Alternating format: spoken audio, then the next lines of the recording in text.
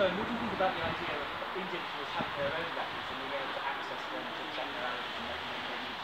Yeah, I, I think that would be a great idea. Um, so I visit a world where you would have like a Facebook page and it's got all the information on there, your appointments, everything, all your reports.